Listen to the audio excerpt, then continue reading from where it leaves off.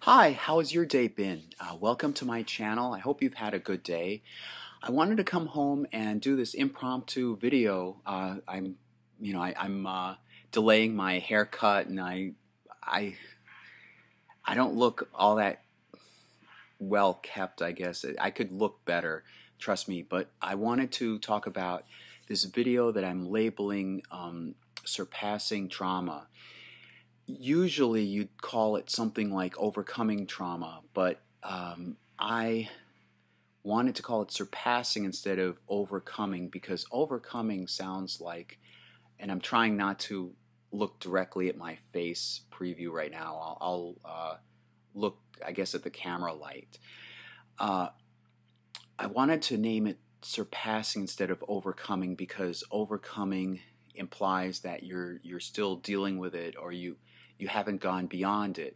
And I've talked about this certain thing. I would call it personally. I would deem it a trauma uh, for myself. Um, that I've been trying to work, you know, uh, get over for quite a while. Uh, and what what prompted it was today was what prompted this video actually was uh, messaging somebody earlier, and um, I got some help and some confirmation uh, and reassurance, and I feel better. And um, I figured that although you know it's personal to me, I can talk about this in generalities because if, because I imagine many of you, you you yourself may have been going through this. Um, it doesn't matter the the size of the trauma. It, I don't think it, it really matters whether what other people whether other people deem it as a trauma or not. Um, it's the effect I think on you. So let me say that, that that's been a spoiler war enough of a spoiler warning. Uh, I'll talk in generalities. I don't want to give anything away in terms of details. Um, I just want to say that it's been something that I've been dealing with for a long time. Um, a, a few people that I've I've talked to about it have said uh, that they hope, you know, that that they wish that I could move beyond it, uh, you know, put it behind me, and I recognize the importance of it, but uh, instinctively I felt that it had to be resolved because I can bury it, I can bottle it up for a while, but there's only so long that you can bottle up something like this. Um, and it needs to be dealt with. I'm somebody that very much believes that some that these things need to be dealt with, not just traumas, but just unresolved things and uh, lingering things, lingering problems, lingering issues. Uh, so the at the start of it, you know, at the start of this whole thing, uh, a few years, well, quite a few years ago, um, I was trying to understand what was going on, and I was trying to seek answers, and that just exacerbated it, and I, I guess made it um, made it worse. Um, it seems every time I tried to do that, it would make it worse. So why did I keep doing it? I mean, why did I keep pursuing some kind of resolution or answers or, or some kind of understanding? Um, well, again, it's it's because these um, these memories of what happened and uh, things people said and, and texted would go around in my head. Um, and I've gotten better. I mean, in the first few years, um, it was much worse to uh, handle that um, because I felt it was my entirely my fault at the beginning of it. I felt as though you know I was a monster. I was I did something horrible, and and um, you know I all I did was um, try to be kind. I won't go into specifics, um, but you know, I, I, I have some feeling of conscience and I wanted to uh, make things better. And um, in retrospect, now, I mean, based on what I know, and and some people have reassured me it wasn't all my fault, and I didn't know exactly what was going on. But it still doesn't stop these um, memories and uh, these uh, things people said and so forth um, from lingering around and lingering around, and, and they get bottled up. And uh, there's a song. There's a song by Yes in the 1980s called "Owner of a Lonely Heart." I don't want to put it up for risk of having this whole video taken down for copyright reasons. You know, I mean, with YouTube, you never know. So I figured I'd just play it safe. But maybe I'll put a link in at the bottom. Uh, look up the Yes song from the 1980s called "Owner of a Lonely Heart." There's a part in there that I I interpreted um, a certain way. He uh, it shows it, it it shows somebody walking into a courtroom and uh, there's a judge or somebody passing judgment on him and I interpreted that as uh, as him passing judgment on himself, and um, and there's also a line. Well, there's all a line there. Um, it's is it? Uh, I'll be vague about it here. Um, um owner of a broken heart. Um, is that better than owner of a lonely heart, implying uh, owner of a lonely heart, you haven't um, you haven't taken any action. If you do take action, there's a risk that you could get a broken heart from it. So it's a question: should you try or should you remain lonely and and then you're still um, you're still in some sense in pain. Um, I thought about uh, I thought about two figures in our public consciousness. Uh, I thought about Anakin becoming Darth Vader, and I thought about um, in the Star Wars legacy, and I thought about Richard Nixon's uh, farewell address, so to speak, his resignation address. Um, I also thought about, uh, in addition to you know these uh, thing, thoughts lingering, uh, the the framework or the, the, the scheme, the, the concept that Dr. Richard Schwartz had developed called internal family systems. That is that uh, he that we each have certain parts of our mind that deal with certain aspects, and uh, there's uh, something essentially uh, split personality or, or um, uh, dissociative identity disorder, which could simply be explained in terms of this framework as uh, internal family members of your mind not working together well in harmony. Um, the jury is still out, in my opinion, as to whether that actually exists, that uh, dissociative identity disorder. It's intriguing. It, if true, it sheds light on how our minds work. And that's, in some sense, what this channel is all about introspection with Jeff. Uh, he identified, well, all right, he worked with, he was a psychologist, I believe. He, he dealt in mental health.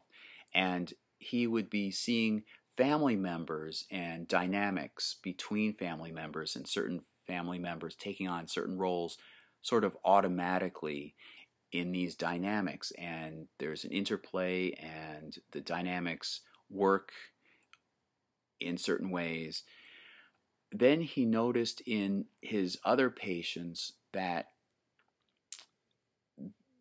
they the patient would sometimes say well part of my mind is thinking this another part of my mind is thinking that and part of my mind is hurt by this and so forth and so he worked out this concept of internal family systems.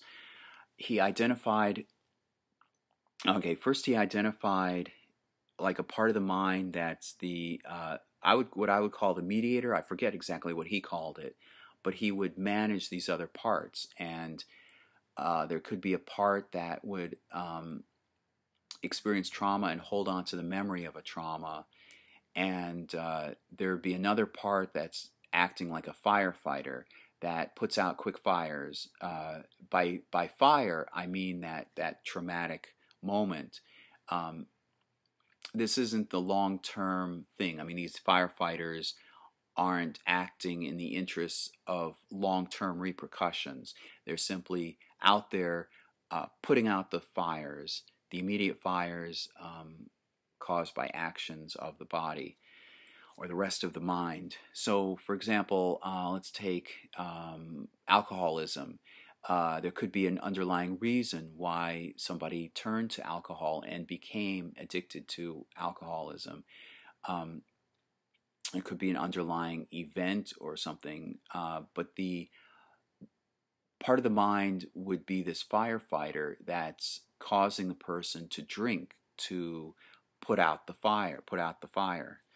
Um, however, it nulls the pain of the memory still held by that that part, that one of those parts that's still retaining that memory.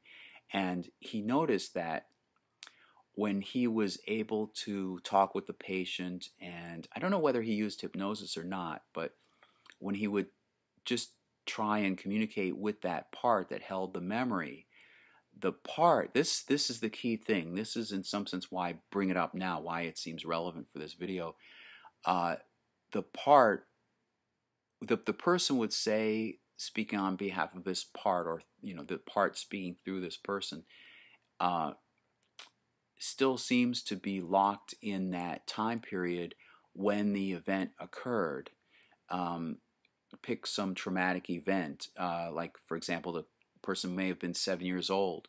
Uh, the part still seemed to regard the person as seven years old or regard itself as being seven years old, even though the, the person may be uh, 42. And uh, the, the firefighter part has been doing a good job or an adequate job in maintaining the person going through life into his early 40s uh, and putting out these fires by, for example, uh, causing alcoholism, you know, inducing the, the body to drink alcohol or do some other thing to uh, null the pain and, and get through the moment. Um, but the memory hasn't gone away. And he noticed that when he talks directly to the part, he uh, the part then um, I'm not sure if the part necessarily needs feels a need for the firefighter anymore, but the part there's like a dialogue between Dr. Schwartz and the part. The part begins understanding and, and dealing, working through that seven year old, that event from when that event at age seven, and uh, becomes, I guess, adapted to the fact that it's now uh, that the body is now age 42, and there's so many, uh, um, and there's there's 30 something years that have passed since then, um, and so the the mediator part like manages i think it's called a manager i think he called it a manager manages all these parts tries to, and, not necessarily in a, a great, outstanding, healthy way, but at least tries to hold everything together.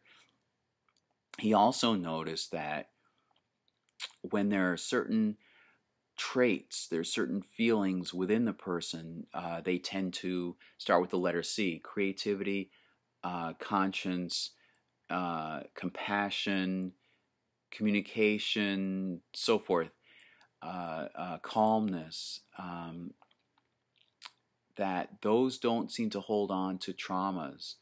Uh, they, the, uh, I remember he mentioned this in an interview, he or a lecture. He he would hear some of these calm that the person talking about these calm parts of themselves or, or creative parts of themselves courageous parts of themselves and he would ask well what part is that? And uh, the the person, the whole person, would say, "Well, that doesn't seem like a part. It seems like my true self, my true self.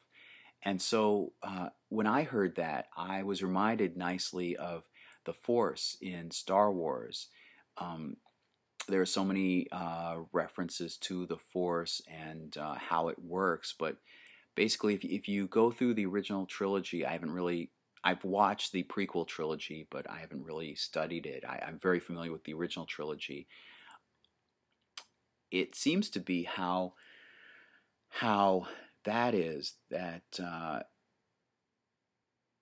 that this concept that George Lucas made up. Um, if you play with it a little bit here uh, in the Star Wars universe, um, that the Force represents this confident self and you can do amazing things. You're sure of yourself. You you can uh, like there's a part where uh, a trainer tells luke in the second movie well actually luke asks how will i know the the good side from the bad or the, the dark side? How will i know the the light side from the, the dark side? And then the trainer says you will know when you're calm and at peace and and I interpreted that to mean uh, when you don't have distractions of these other parts arguing or whatever, if you're calm and you simply listen and uh, and pick up on intuition and pick pick up on certain instincts, um, you can think things through. And I wish more people would do that.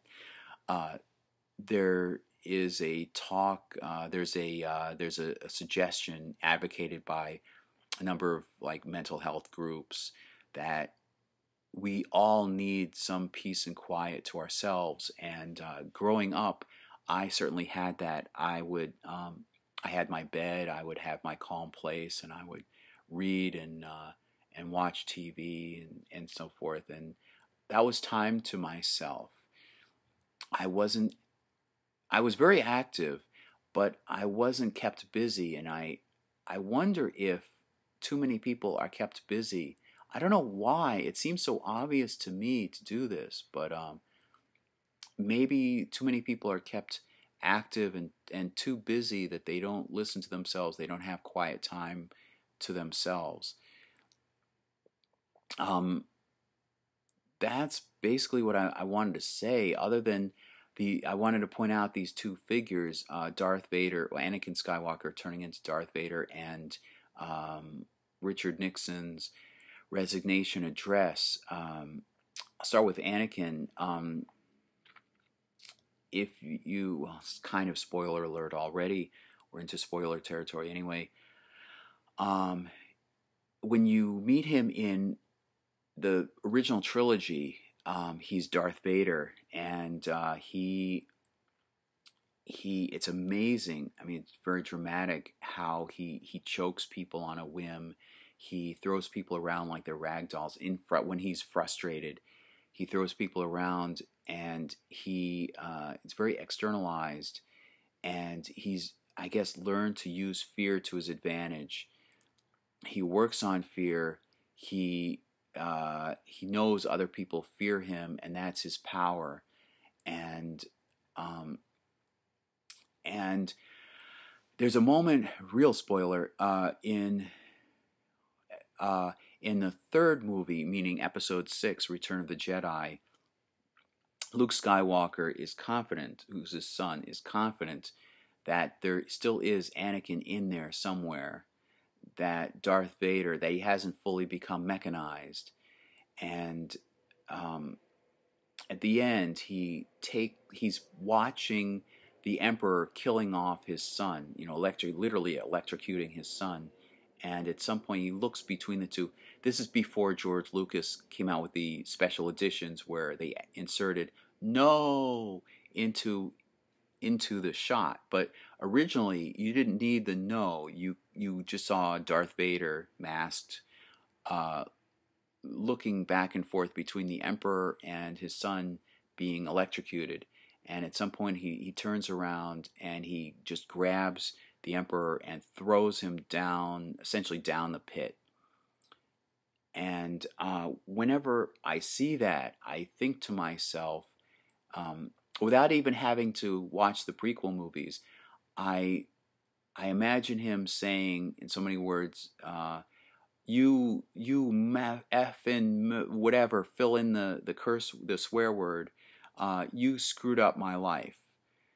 And he throws the emperor down the pit. Um, and uh, he's come back to the light side. And Luke Skywalker was cor- correct in his suspicion, intuition, and he's Luke Skywalker was very much a hero in turning him around. And uh, anyway, so my point in bringing that up is that there is a danger in him um, letting his fear and anger get the better of him, and he becomes an agent of evil. I mean, it's said so in uh, Return of the Jedi and Empire Strikes Back. He um, becomes an agent of evil. He doesn't really have a sense of independence. There's some sense that he's a slave to the emperor. And I remember, as long as I, am mentioning this, I I remember in the end, in the climax of The Empire Strikes Back, he says, uh, "You know, Luke, my son, um, with our combined powers, we can overthrow the emperor." implying that he's wanted to, for whatever reason, I think I know what the reason was. Um, he wanted to, he wanted to get rid of the emperor. I think because the emperor had um, had a stronghold over him and kept him as a master servant relationship.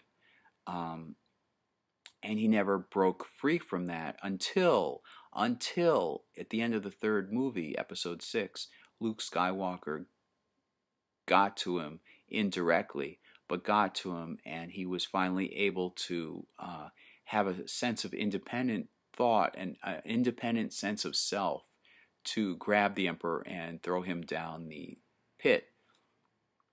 Um, I also want to mention that uh, speech by Richard Nixon. Um, you know, I, I don't, uh, I'm not of that same political stripe, but I thought it was very poignant what he said at the end. I don't remember the speech exactly. You can look it up, but he said uh, something like, "If you um, uh, beware of um, beware of anger," along similar lines. I can't remember exactly how he put it, but beware of anger and, and fear and, and negative emotions um, because in the end they will destroy you. And of course, he was involved in Watergate and obsessive, my opinion, obsessive behavior about Watergate and these sorts of things. And, and he had these triggers that probably induced this obsessive behavior. And they can, you know, in the end, they can be beware. Don't let them dominate you. Um, they can uh, they can destroy you. And you know, saying that, I'm also even reminded of a, a, a little bit of a story and a line in uh, in Genesis, the biblical book of Genesis. Near the beginning, um, Cain has killed Abel uh, out of jealousy or envy, um, and there hadn't been any death before that. Um, I don't think you could actually call it murder because uh, there's intent to kill the, you know, there's intent to render the other person dead. Um, there's no indication, quite the contrary, there's no indication because nobody had died yet. Um, but he was taking out his his anger on his brother, and uh, so um, the Jewish deity that goes by the four letters, the Tetragrammaton, uh, it's translated into English it's transliterated as YHVH, but usually in English dictionary, English translations, uh, you would see it as the Lord, which is a off-putting, incorrect um, use of it. Um, doesn't necessarily mean the Lord. There's a, it's, uh, know, there's probably a whole history why they picked the Lord to insert there. But anyway, um, Yud Vav says to him, um, uh, sin crouches in the corner, but you can be master over it. And that's a very nice thought to keep in mind that you can be master over this destructive intent, this destructive urge within you. Um, it can crouch in. It's crouching in the corner, uh, but you're not in that corner yourself. You're you're outside of that, and you can be master over it. So that's all I wanted to say. Um, and I'll go on to happier things uh, in some other video. But thank you for watching this. Thank you for you know taking the time. If you've gotten this far, thank you for watching it all the way through. And I'll see you next time. Again, hope you have a good day and and wherever you are, and happy. Uh, upcoming weekend it's it's Thursday now but I thought I'd say it early all right mm, bye